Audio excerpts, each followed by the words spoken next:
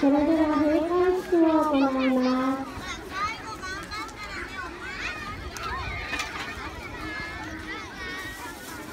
はい、子供たちの入場です。皆さん大きな拍手でおってくださいね。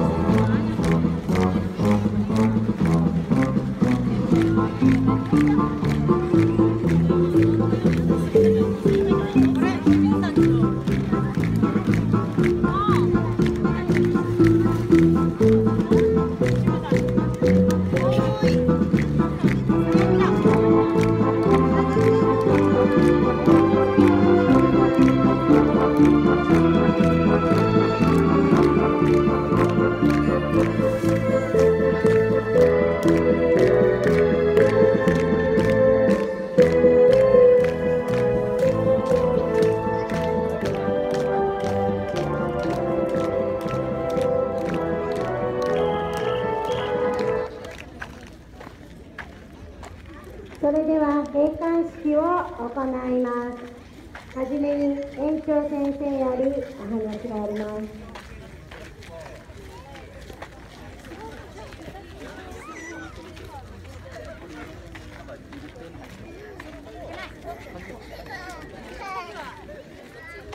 はい。保健保育園のお友達で、10月からね、雪組さんはお昼寝から起きて、もうそろそろ帰る準備をするのに、よく頑張りましたね。それから星組も月組も、本当によく頑張りましたよ。一人一人、本当に腹いっぱい最後までよく頑張りました。ねとっても偉いです。ねこんなね、保育園でこんな遅くまで運動会やってるところはないと思いますけれども、厚生保育園のお友達は本当によく頑張ったと思います。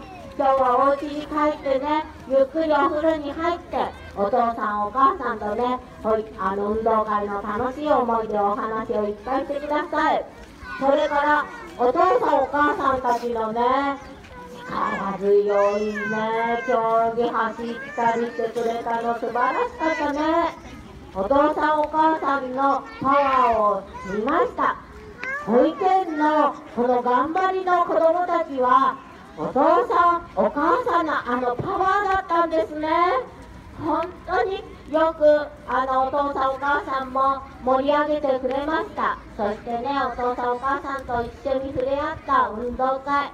ね、赤ちゃん組はみんな帰ってしまったけれども、でも雪組、星組、月組、本当によく頑張りましたよ。ね。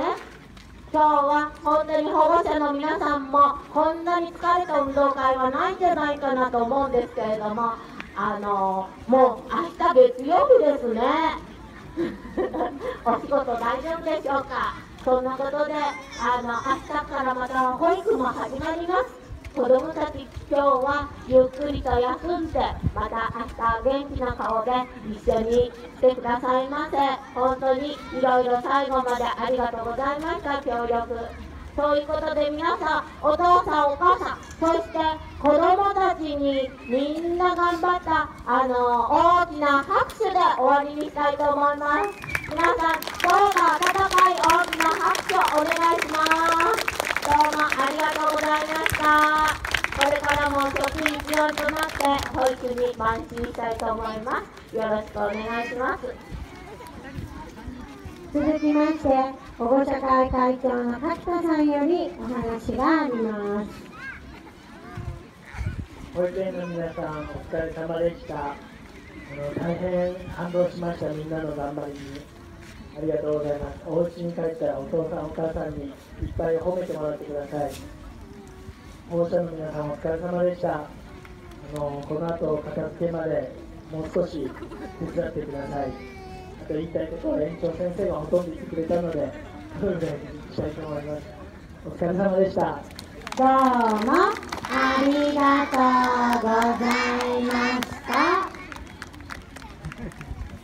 はい